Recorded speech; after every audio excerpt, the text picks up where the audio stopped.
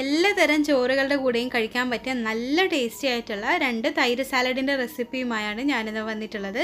സ്പെഷ്യലായിട്ട് ബിരിയാണിയുടെ കൂടെയും മജബൂസിന്റെ കൂടെയൊക്കെ നല്ലൊരു കോമ്പിനേഷനാണ് വളരെ എളുപ്പത്തിൽ നമുക്കത് തയ്യാറാക്കിയെടുക്കാൻ പറ്റും. സെർവ് ചെയ്ത് കഴിഞ്ഞാൽ കാണാൻ തന്നെ നല്ല ഭംഗിയാണ്. അതേപോലെ തന്നെ കഴിക്കാനായിട്ട് നല്ല ടേസ്റ്റാണ് അപ്പോൾ ഇത് രണ്ടും നമുക്ക് എങ്ങനെയാണ് തയ്യാറാക്കുന്നത് നോക്കാം. ആദ്യം ഞാൻ ഗ്രീൻ കളറിലുള്ള തൈര് മിക്സാണ് തയ്യാറാക്കുന്നത്. അതിന് വേണ്ടിയിട്ട് ഒരു മിക്സിയുടെ ജാറിലേക്ക് ഒരു പിടി മല്ലിയില ചേർത്ത് കൊടുക്കുന്നുണ്ട്. ഒരു കൈപ്പിടിയാണ് കേട്ടോ അതേപോലെ തന്നെ ഒരു അഞ്ചാറ് പുതിന ഇല ചേർത്ത് കൊടുത്തിട്ടുണ്ട്. നിങ്ങൾക്ക് പുതിനയുടെ ഫ്ലേവർ കൂടുതൽ ഇഷ്ടമാണെന്നുണ്ടെങ്കിൽ കൂടുതൽ ചേർത്ത് കൊടുക്കാം കേട്ടോ ഇനി നമ്മളിതിലേക്ക് ചേർക്കുന്നത് ഒരു നാലഞ്ച് കറിവേപ്പിലയാണ്. നല്ലൊരു കളർ കിട്ടാനായിട്ടാണ് കേട്ടോ കൂടുതലായിട്ട് ഇലകൾ ചേർക്കുന്നത്. അതേപോലെ നമ്മുടെ എരിവിന് ആവശ്യത്തിനുള്ള പച്ചമുളക് ചേർത്ത് കൊടുക്കുക ഞാനിവിടെ രണ്ടെണ്ണമാണ് ചേർത്തിട്ടുള്ളത്. ഇനി ഇതിലേക്ക് ഒന്നോ രണ്ടോ ടേബിൾ സ്പൂണ് തൈര് ചേർത്തിട്ട് നല്ലതുപോലെ നമ്മളിതൊന്ന് അടിച്ചെടുക്കണം. നന്നായിട്ട് ഇത് അടിച്ച് പേസ്റ്റ് ആക്കി എടുക്കണം. കണ്ട ഈ ഒരു രീതിയിൽ നല്ലതുപോലെ അടിച്ച് പേസ്റ്റ് ആക്കി എടുക്കണം. ഇനി നമുക്ക് നമ്മൾ ആവശ്യത്തിനുള്ള തൈര് ഒരു ബൗളിലേക്ക് എടുത്തു കൊടുത്തിട്ടുണ്ട്. ഞാനിവിടെ ഒരു കപ്പ് പുളിയില്ലാത്ത കട്ട തൈരാണ് എടുത്തിട്ടുള്ളത്. ഇതിലേക്ക് ആവശ്യത്തിനുള്ള ഉപ്പ് ചേർത്ത് കൊടുത്തിട്ട് ഒരു സ്പൂണ് വെച്ചോ അല്ലെങ്കിൽ ഇതേപോലെ ഒരു വിസ്ക് വെച്ചോ നന്നായിട്ടൊന്ന് മിക്സ് ചെയ്ത് കൊടുക്കണം. കട്ടയൊക്കെ മാറുന്നത് പോലെ നല്ലതുപോലെ ഇളക്കി കൊടുക്കണം. മിക്സിയിലിടരുത് കേട്ടോ മിക്സിയിലിട്ട് കഴിഞ്ഞാൽ തൈര് ലൂസായി പോവും. ഈ ഒരു കട്ടി ഉണ്ടാവില്ല. അതുകൊണ്ട് സ്പൂണ് വെച്ചോ അല്ലെങ്കിൽ ഇതേപോലെ വിസ്ക് വെച്ചോ ഇളക്കി കൊടുക്കുക.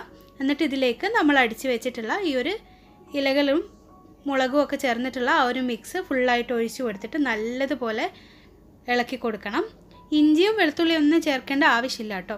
നമുക്ക് ആ ഒരു ഇലകളുടെ ഒരു ഫ്ലേവർ കിട്ടണം. അതേപോലെ ആ ഒരു പച്ചമുളകിന്റെ എരിവും കൂടെ ഒക്കെ ആകുമ്പോൾ നല്ലൊരു ടേസ്റ്റാണ് ഈ ഒരു രീതിയിൽ ഉണ്ടാക്കി കഴിഞ്ഞാൽ നന്നായിട്ട് നമ്മളിതൊന്ന് മിക്സ് ചെയ്ത് കൊടുക്കുക.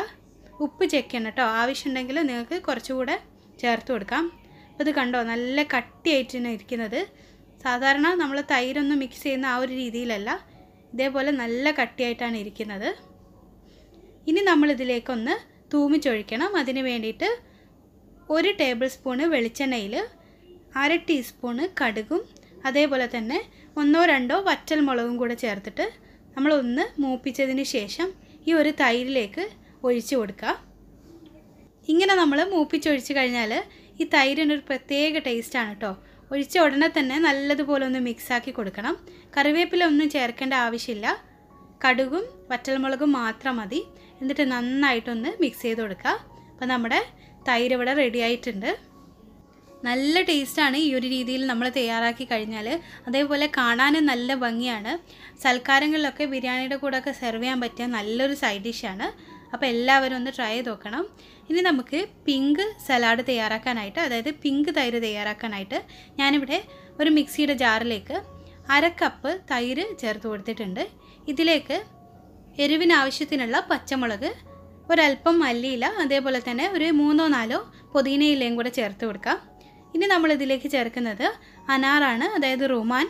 ഇത് ഏകദേശം ഒരു അര കപ്പോളം ഉണ്ടാവും. നല്ല കളറുള്ള അനാറ് നോക്കി എടുക്കാൻ ശ്രമിക്കാം.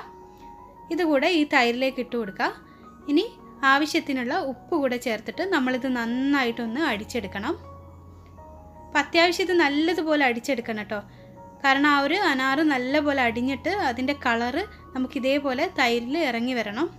അപ്പം അത്യാവശ്യം നല്ലതുപോലെ തന്നെ നമ്മളിത് അടിച്ചെടുക്കുക. ഇനി നമ്മളിത് അരിച്ചൊഴിക്കുക ഒരു ബൗളിലേക്ക്. അരിച്ചൊഴിക്കുന്നത് എന്തിനാന്ന് പറഞ്ഞാൽ ആ ഒരു റുമാന് എത്ര അടിഞ്ഞു കഴിഞ്ഞാലും അതിലെ കുരുക്കൾ അവിടെ ഇവിടെ ആയിട്ട് തങ്ങിക്കിടക്കും. അപ്പോൾ നമ്മൾ മിക്സ് ചെയ്ത് കഴിഞ്ഞാലും അത് കഴിക്കുമ്പോൾ ഒരു ഡിസ്റ്റർബൻസ് ആവും. അത് ഒഴിവാക്കാനായിട്ടാണ് ഇതേപോലെ അരിച്ചൊഴിക്കുന്നത്. ഇനി നമ്മൾ ഇതിലേക്ക് ആവശ്യത്തിനുള്ള തൈര് ചേർത്ത് കൊടുക്കുക ഞാനിവിടെ അര കപ്പ് നല്ല കട്ടിയുള്ള തൈരാണ് ചേർത്ത് കൊടുത്തിട്ടുള്ളത്. പിന്നെ ഒരു പകുതി വലിയ ഉള്ളി ചെറുതായിട്ട് കട്ട് ചെയ്ത് ചേർത്ത് കൊടുക്കുക അതേപോലെ ഒരു പകുതി തക്കാളി കട്ട് ചെയ്ത് ചേർത്ത് കൊടുത്തിട്ടുണ്ട്. പിന്നെ ഒരല്പം മല്ലിയിലയും പുതിനയിലയും കൂടെ ചെറുതായിട്ട് കട്ട് ചെയ്ത് ചേർത്ത് കൊടുത്തിട്ടുണ്ട്. എന്നിട്ടെല്ലാം കൂടെ നല്ലതുപോലെ ഒന്ന് മിക്സാക്കി കൊടുക്കണം. തൈര് നമ്മൾ ഇതിലേക്ക് ചേർക്കുമ്പോൾ അതായത് പ്ലെയിൻ ആയിട്ടുള്ള തൈര് ചേർക്കുമ്പോൾ നല്ലതുപോലെ സ്പൂൺ വെച്ച് ഒന്ന് ഉടച്ചതിന് ശേഷം ചേർത്താൽ മതി കേട്ടോ അതല്ലാന്നുണ്ടെങ്കിൽ നമ്മളിത് മിക്സ് ചെയ്ത് കഴിഞ്ഞാൽ ആ വെള്ള തൈരിന്റെ ഭാഗങ്ങൾ അവിടെ ഇവിടെ ആയിട്ട് ഇങ്ങനെ പൊങ്ങിക്കിടക്കും അത് ഒഴിവാക്കാനാണ്. ഇനി ഒരു ഭംഗിക്ക് വേണ്ടിയിട്ട് നമ്മളത് സെർവ് ചെയ്യുമ്പോൾ ഇതിന്റെ മുകളിലായിട്ട് കുറച്ച് അനാർ ഇട്ട് കൊടുക്കുക. അതേപോലെ തന്നെ കുറച്ച് മല്ലിയിലയും കൂടെ ഇട്ട് കൊടുക്കുക. ഉപ്പ് ചെക്ക് ചെയ്യണം കേട്ടോ ഈ ഒരു സമയത്ത് അപ്പം നല്ല ടേസ്റ്റി ആയിട്ടുള്ള അടിപൊളി തൈരാണ്. ഒരു വെറൈറ്റി ആണ്. കാണാൻ തന്നെ നല്ല ഭംഗിയാണ്. അനാറ് ചേർത്തെന്ന് കരുതി അതിന്റെ മധുരം ഒന്നും ഉണ്ടാവില്ല കേട്ടോ നല്ല ടേസ്റ്റാണ് നമ്മൾ എരിവിന് ആവശ്യത്തിനുള്ള പച്ചമുളക് ചേർത്ത് കഴിഞ്ഞാൽ ആ ഒരു മധുരം അങ്ങ് ബാലൻസ് ആവും. അപ്പോൾ എല്ലാവരും ഇതൊന്ന് ട്രൈ ചെയ്ത് നോക്കണം. അഭിപ്രായങ്ങൾ അറിയിക്കണം. ഫ്രണ്ട്സിനും റിലേറ്റീവ്സിനും എല്ലാം ഷെയർ ചെയ്യണം. കഴിഞ്ഞ ദിവസം ഞാനൊരു കുക്കർ ബിരിയാണിയുടെ റെസിപ്പി ഇട്ടപ്പോഴാണ് ഈ ഒരു തൈരിനെ പറ്റി പറഞ്ഞിട്ടുണ്ടായിരുന്നത്. അപ്പോൾ ആ റെസിപ്പി ആരെങ്കിലും കാണാത്തവരുണ്ടെന്നുണ്ടെങ്കിൽ ആ റെസിപ്പി കൂടെ ഒന്ന് കാണണം. അപ്പോൾ ഇൻഷാല്ല മറ്റൊരു വീഡിയോയിലൂടെ വീണ്ടും കാണാം. സബ്സ്ക്രൈബ് ചെയ്യാതെയാണ് നമ്മുടെ ചാനൽ കാണുന്നതെങ്കിൽ സബ്സ്ക്രൈബ് ചെയ്യാൻ മറക്കല്ലേ?